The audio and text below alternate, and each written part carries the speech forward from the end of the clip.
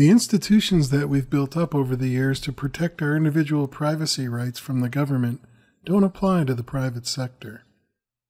The Fourth Amendment doesn't apply to corporations. The Freedom of Information Act doesn't apply to Silicon Valley. And you can't impeach Google if it breaks its Don't Be Evil campaign pledge. Al Franken. Does it seem like every time you turn around, someone is commenting to you on something you did not understand they knew about you, or something you had no intention of sharing with anyone? Or how about the feeling of discomfort or frustration you might get each time you go to your email or your browser and you see targeted emails or ads from advertisers?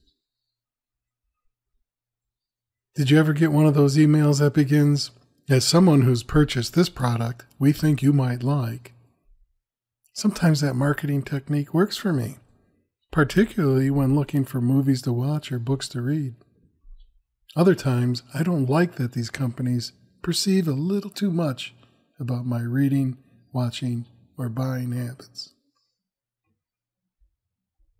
Besides marketing techniques, I'm not a big fan of the idea that someone in the office is commenting on my family party photos I come to find out were posted by my cousin or friend without my permission. These sorts of mini invasions of my privacy make me think of more serious situations, such as an employer rejecting me because of a social media picture, comment, or rating, or an insurance provider or creditor dropping me or charging me more because of incorrect or false information that was posted on the web. On the darker days, I wonder where does it all stop? And how can I have privacy and control around my data? There are lots of good things about being able to share my personal information, but how can I have control around my privacy, especially when the technology often makes it so easy for my information to be misused? What is privacy, and what are the risks for technology and privacy? Two definitions of privacy are the quality or state of being apart from company or observation, and freedom from unauthorized intrusion, one's right to privacy. In our pursuit of better understanding ethical issues around privacy and computing, let's consider key aspects of privacy and some threats to privacy. Add one's control of information about oneself to the aspects of freedom to be apart and from intrusion or surveillance.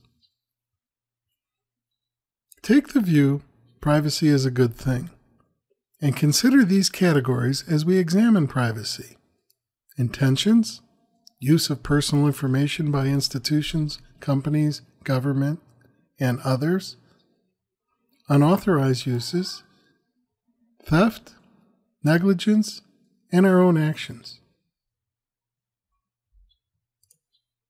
Technology can do a lot of good things for us, for our information. But as we learned earlier, technology changes at a rapid pace, and our uses of technology and the laws and social practices around technology take time to catch up. We are always learning the good and bad things about technological change and then changing our practices and laws.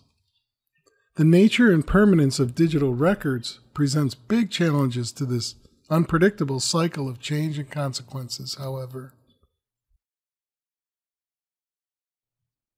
What trade offs do we each make around privacy? Do we give up part of our privacy in the name of security and safety, health, entertainment, efficiency, other things?